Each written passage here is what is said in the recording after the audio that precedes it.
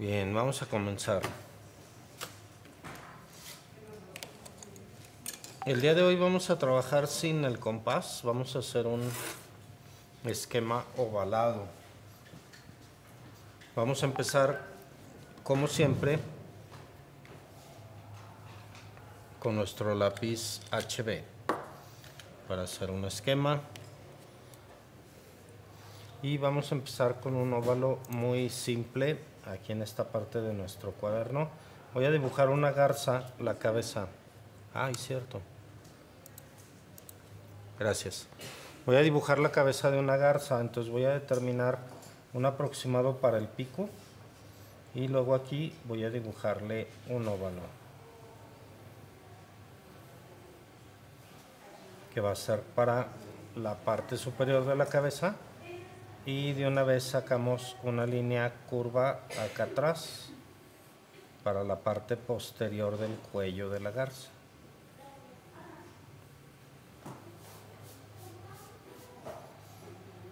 Como que sale de la parte de arriba del óvalo.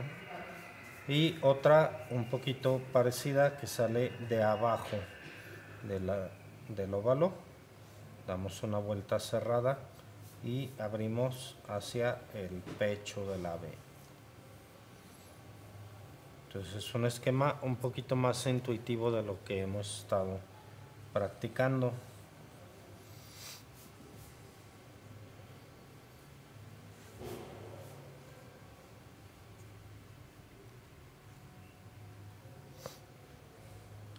Luego aquí donde está la parte central del pico, la parte, la línea que acabo de marcar, voy a meterla.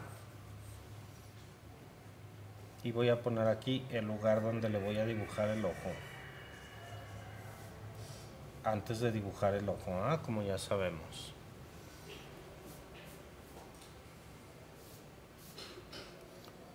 Desde el óvalo de la parte superior del óvalo voy a sacar el pico hacia enfrente hasta la punta un poquitito doblado hacia abajo en la punta.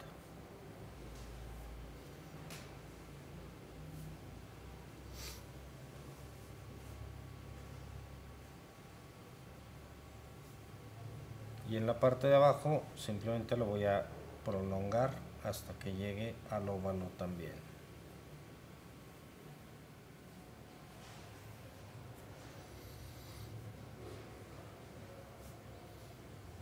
Ahí En este punto ya puedo cambiar de lápiz. Voy a utilizar un lápiz suave. Un 3B, por ejemplo, va a ser suficiente.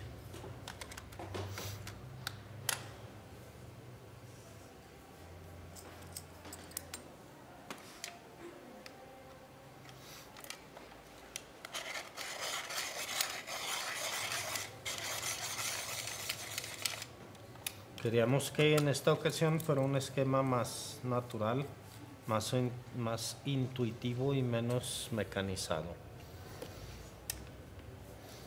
Una vez que ya tengo esto, puedo empezar con mi trabajo. ¿eh? Como siempre, voy a empezar por el ojo. Para dibujar el ojo, voy a darle la forma definitiva primero.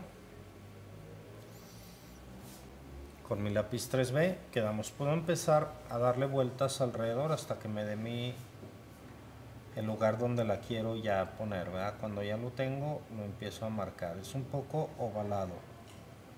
Engroso la línea mediante pasadas sucesivas de mi lápiz para que se vaya haciendo más negrita y un poquito más gruesa. Sobre todo aquí adelante y acá atrás ¿eh? que se vaya ovalando un poquito más, pero que el de adentro se conserve redondo, lo más redondo que se pueda.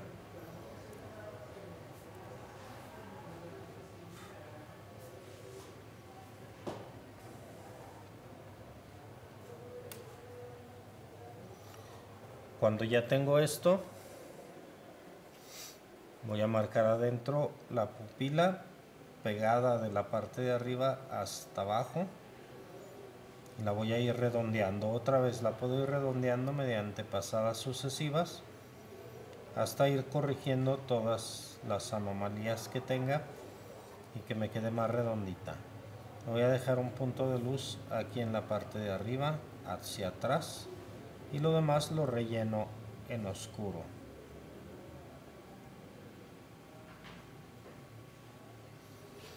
la parte de abajo la puedo hacer con un esfumino. Voy a tratar de dejarle también un punto de luz aquí al centro. Entonces difumino. Dejo un punto de luz, voy al otro lado y difumino el otro lado dejando nuevamente el punto de luz aquí abajo.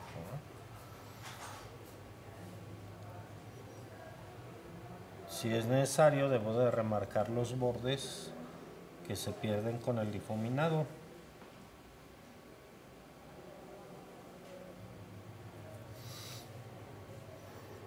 Y ahí tengo ya el ojo.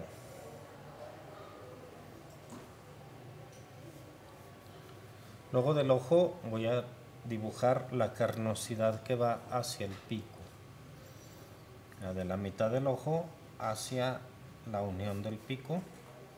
Dibujo una línea.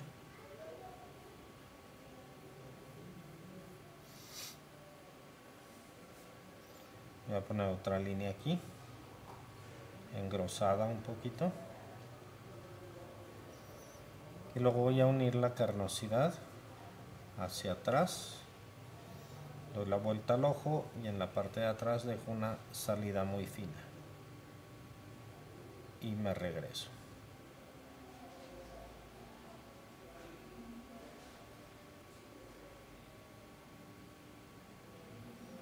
me quede fina y que me quede con puntas ¿eh?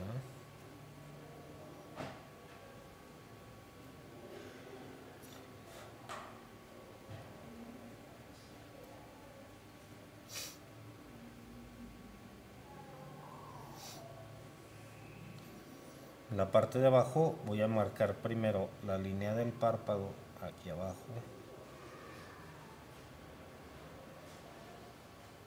También un poquito engrosada, la voy engrosando un poquito. Luego marco una segunda desde acá.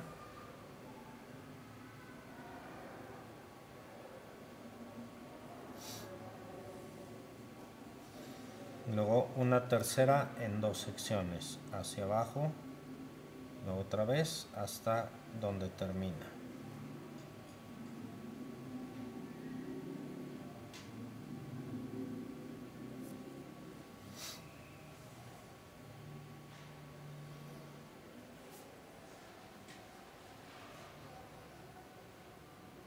Luego esta de en medio la voy a marcar en oscuro. La que va en medio de las dos de abajo.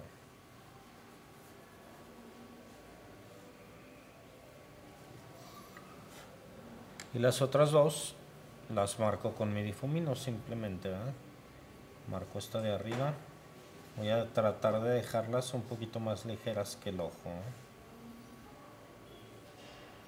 y luego marco la de abajo tomo el lápiz de aquí donde dejé mucho y luego voy marcando la de abajo sin que se marque demasiado lo hago con suavidad para que mi difumino pinte menos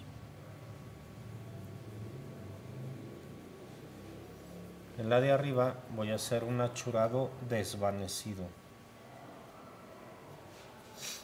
¿Cómo es un achurado desvanecido? Empiezo con líneas más o menos juntas y conforme voy llegando hacia atrás empiezo a abrirlas un poquito hasta que se van desvaneciendo poco a poco.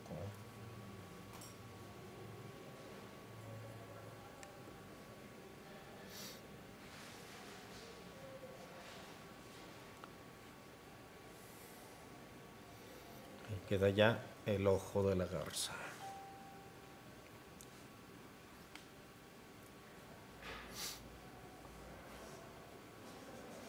Y luego vamos a dibujar el pico. El pico, me conviene primero dibujar la línea del centro porque ya sé que va a partir de aquí, ¿verdad? Entonces para no tener errores saco de esta línea hasta la línea del centro con una pequeña curvita en la punta.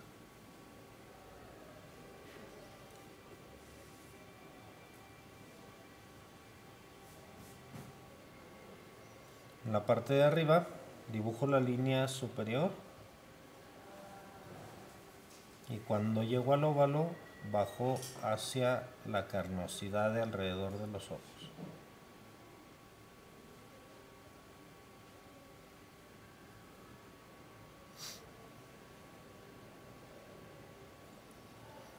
Aquí va a llevar su fosa nasal que es larga, como una gota, pero muy larga, rellena en negro.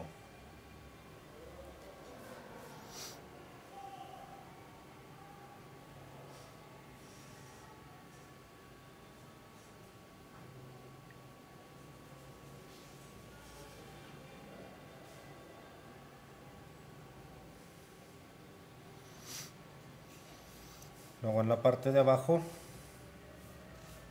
voy a hacer también primero la línea. Cuando llego al óvalo dibujo una carnosidad hacia abajo y luego subo al ojo. A la carnosidad del ojo.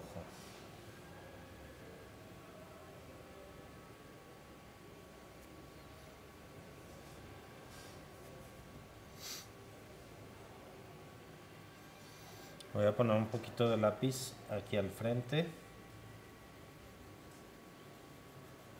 Preferentemente en líneas. Luego lo divido. Voy primero hacia arriba. Y en el de abajo lo voy a hacer un poquito más oscuro.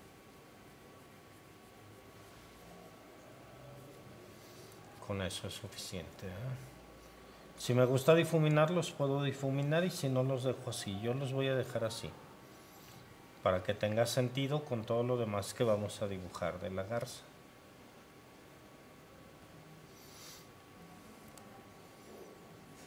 En la parte de abajo del pico, hasta la parte trasera de la cabeza, voy a dibujar aquí unas plumas ligeras, blancas, que van en esta forma. Dibujo la de abajo primero. Y en la punta se van uniendo un poco ¿eh? voy a dibujar primero la punta y luego voy hacia acá y lo suelto para que me quede el acabado fino levanto mi lápiz dibujo la punta voy hacia atrás y levanto mi lápiz para que me quede la línea muy puntiaguda donde termina. Nuevamente dibujo una punta, voy hacia acá y suelto. Voy a marcar algunas otras aquí adentro y las suelto también. ¿ah? Suelto. Otra punta hacia adentro y la suelto otra vez. Ah, eso es todo. Voy a marcarle todas las que quepan en la parte de atrás.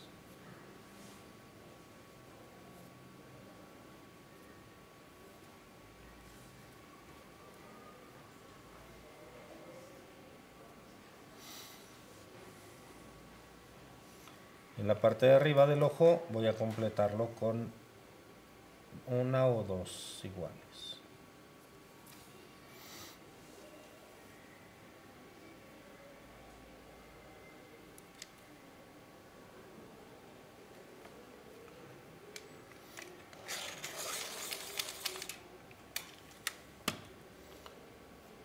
Luego la parte de arriba de la cabeza vamos a darle un poquito de naturalidad cuadrándola un poco. Empezando en el pico, a subir un poquito hasta que termine todo el esquema. La cuadro un poquito y luego vuelvo a bajar, como si la aplanara un poquito en la parte de arriba.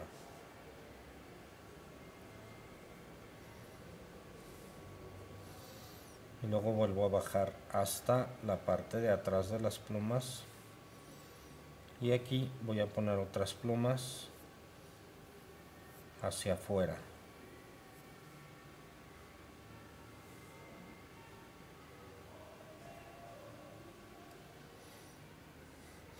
esas plumas que van hacia afuera las voy a ir multiplicando de la base hacia afuera. Otra.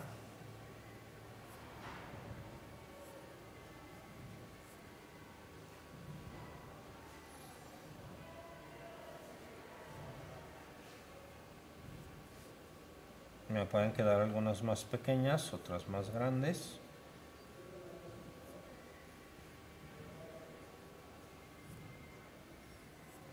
Pero lo importante es que tengan punta al final.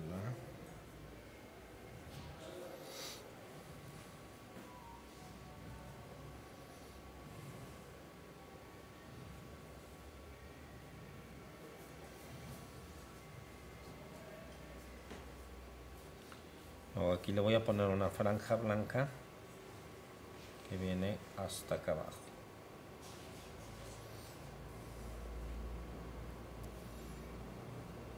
Esa franja blanca tiene este grosor y acá abajo se junta.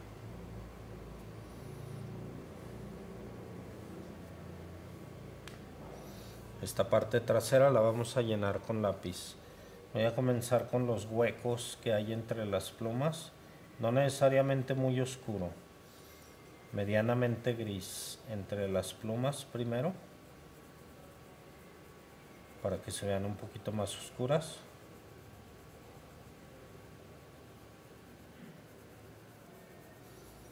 Y luego así con ese medio tono hasta la línea blanca. Lo puedo hacer también con el esfumino o lo puedo hacer con mi lápiz, con lo que esté más cómodo. En esta parte me tiene que quedar más ligero que las plumas que ya dibujé para que las plumas no se vayan a perder.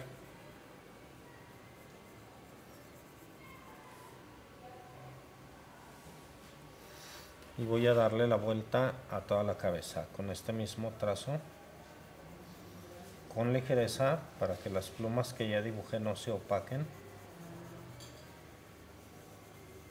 Y en la parte de la cabeza marco un poquito más en el borde y difumino hacia adentro. Hasta que tape todos los esquemas porque no los quiero borrar.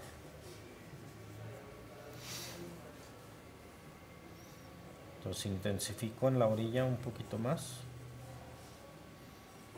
sin pasarme demasiado para eso ocupo mi lápiz acostado completamente. Y la otra parte la relleno con un tono gris suave. Dando la vuelta a las plumas que ya dibujé para que queden como blancas, que me den la impresión de que son blancas.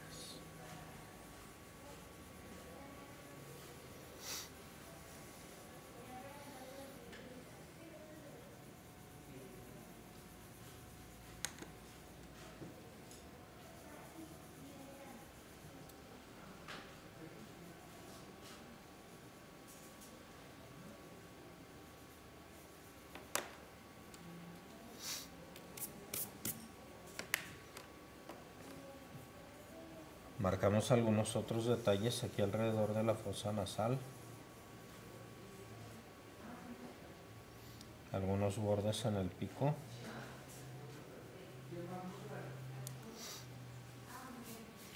Y algunos bordes en la carnosidad de arriba, de abajo, perdón.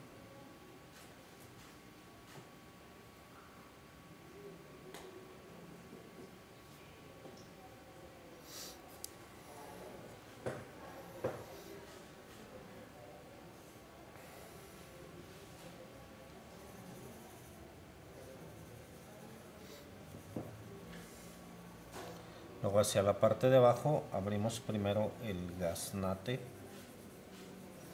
del pájaro, siempre con la terminación en puntada. Levanto al final para que tenga esa sensación de que se adelgaza la línea. Voy a poner otra, una más y finalmente el borde del cuello.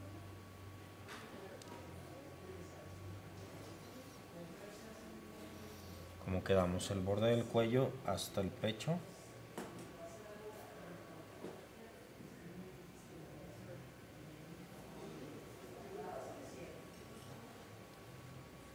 ahí está.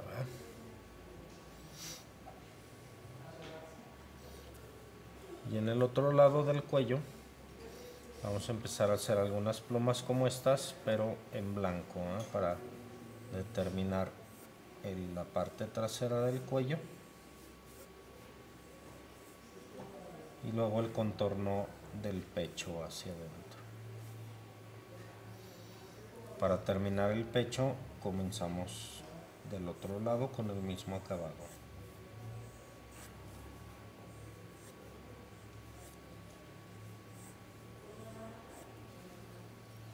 Está.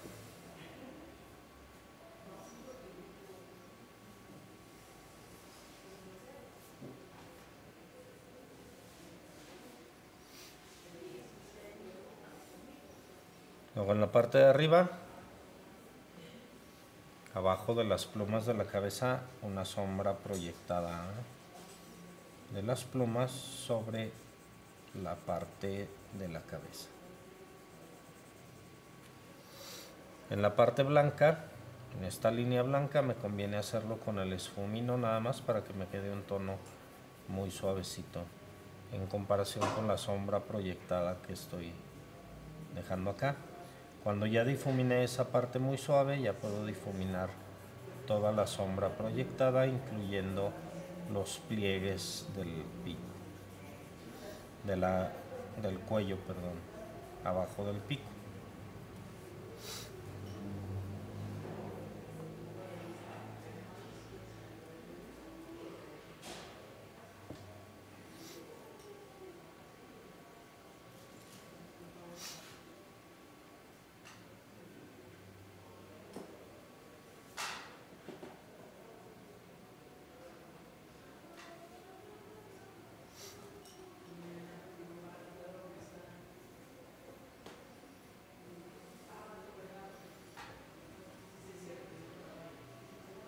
Para completar mi trabajo voy a agregar algunas flores alrededor de la garza.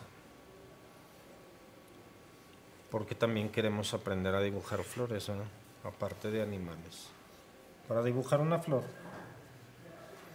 que se vea bonita, que no parezca flor de escuela, de las que hacíamos cuando éramos niños. Vamos a hacerlo de la siguiente manera. Voy a empezar a dibujar el centro. Lo voy a dibujar con hojas pequeñas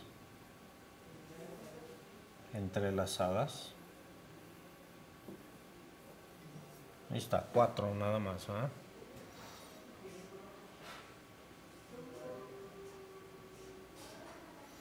Luego le marco algunos pétalos pequeños alrededor.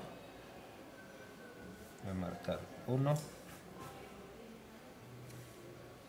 Otro hacia acá pegado a la garza para no tener que definir el final. Y finalmente uno acostado hasta aquí. Así como una letra C de casa nada más los delineo muy bien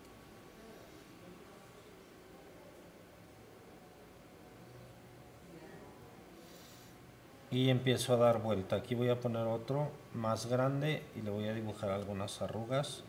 Y voy a entrar aquí. Voy a tratar de que no llegue a la punta de ninguno de estos sino de que llegue en medio.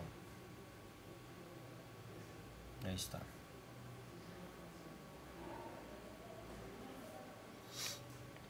Uno más que puede ser muy pequeño a lo mejor para que no se vean simétricas que no sean muy calculadas. Y luego otro más grande hasta acá para finalizarlo pongo otro pequeñito aquí abajo. Y tengo ya una flor más natural para terminarla voy a dibujar entre cada pétalo un poquito de lápiz. Donde empieza cada pétalo un poquito de lápiz en el que sigue igual el que sigue igual también y el que sigue igual en toda la parte donde comienza lápiz un poquito oscuro los estambres estos que puse aquí son pistilos. Voy a ponerle lápiz en medio de ellos para que se oscurezca, que resalten un poquito los rayos blancos. Y hacia acá continuamos con lo mismo. Voy a poner un poquito de negro en el nacimiento, otra vez en el nacimiento del otro y hasta acá arriba. Ahí está.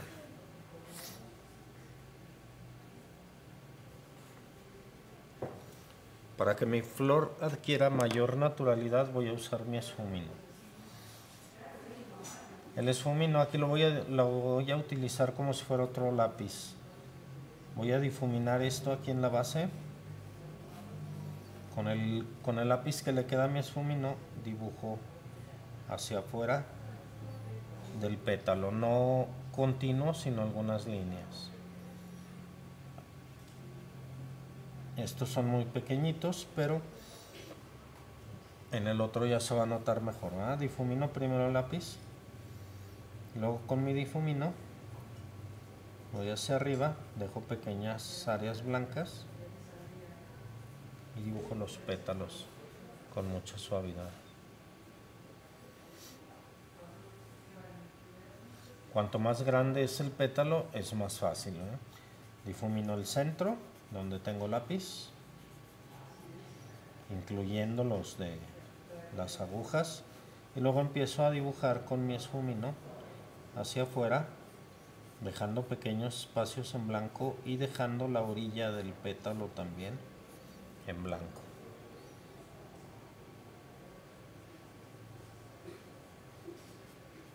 Ahí está.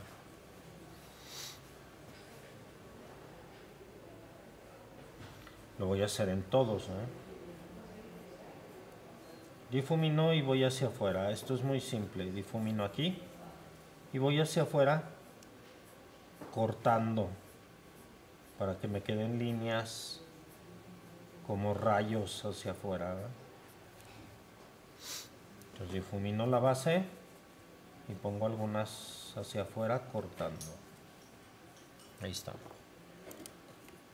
Voy a tapar los pequeños agujeros que tengo para que no tenga ningún espacio en blanco.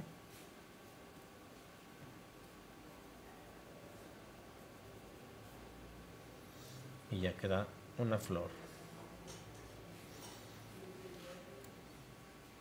Le voy a agregar algunas hojas también para ayudar con la naturalidad. Me conviene hacerlas un poquito rizadas, que no me queden tan rectas un poquito rizada. Marco el contorno de la hoja. Luego en el centro marco la nervadura principal.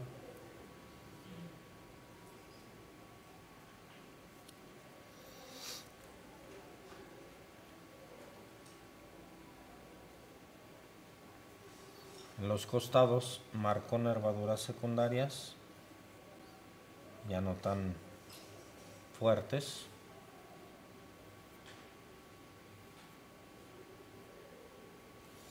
Un poquito de lápiz en el nacimiento. Y donde se pega con la flor para que se despegue, ¿verdad?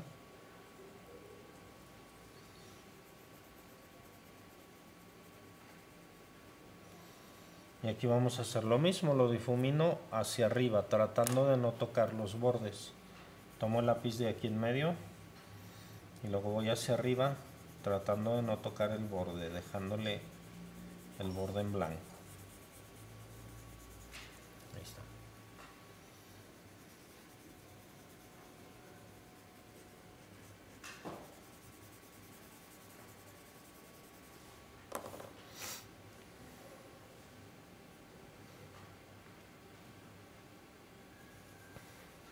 Obviamente de estas puedo hacer las que yo quiera. Voy a hacer otra más pequeñita aquí. Nada más es subir, bajar. Subir, bajar. Algunas nervaduras. Un poco de lápiz en el nacimiento. Y la difumino hacia afuera sin tocar los bordes. Tomo el lápiz de aquí y difumino hacia afuera dejando los bordes en blanco. Ahí está. Otra hoja extra súper fácil y muy rápido.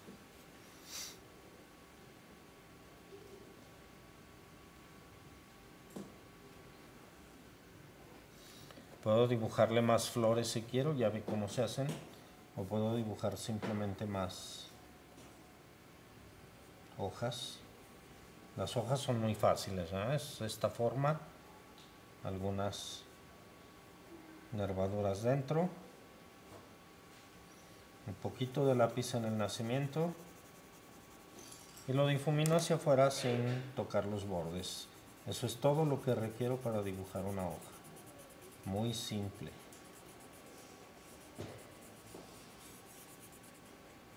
Ahí está ya. Si la quiero hacer lucir más, puedo poner pequeñas luces con mi goma en el interior.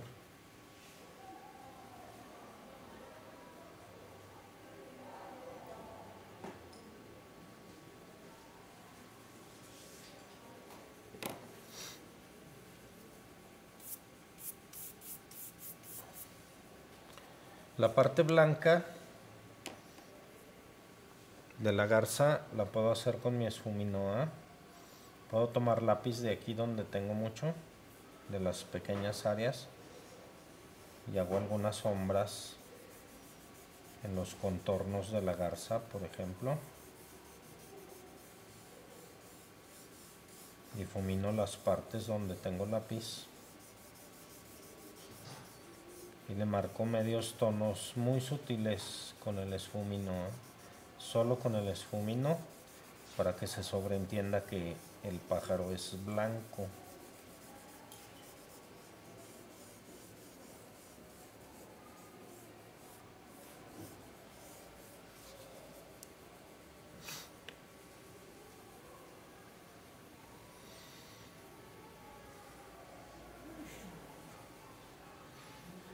Quedamos, puedo ir dibujando más. Yo aquí voy a dibujar otra flor. Quedamos que primero dibujo el centro.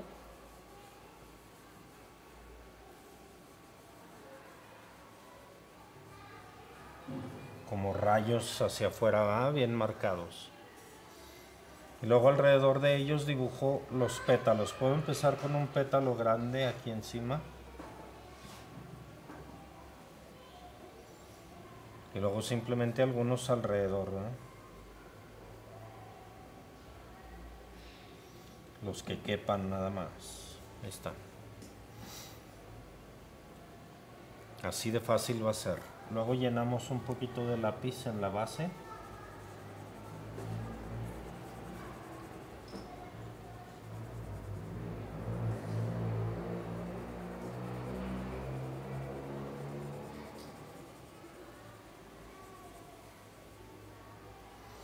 luego difumino hacia arriba en líneas. Difumino donde tengo lápiz y subo pequeñas líneas de lápiz con mi esfumino para que me queden muy suavecitas pueden ser las que yo quiera o puedo remarcarlas varias veces para que se engrosen un poquito más de donde tengo mucho lápiz solamente saco líneas hacia afuera Aquí tengo lápiz, lo difumino primero y luego saco líneas hacia afuera.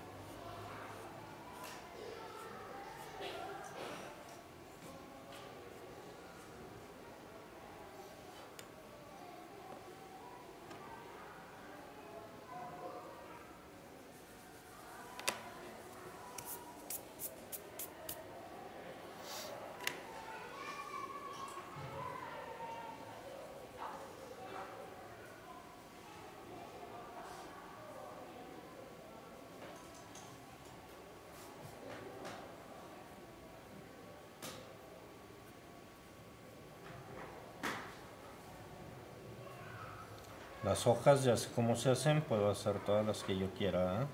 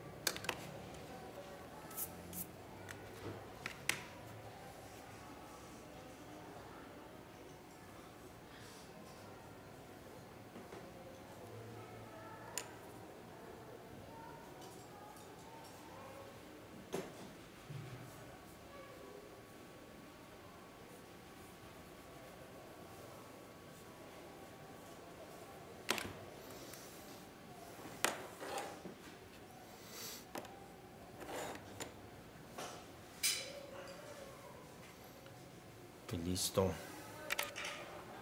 Una garza con flores.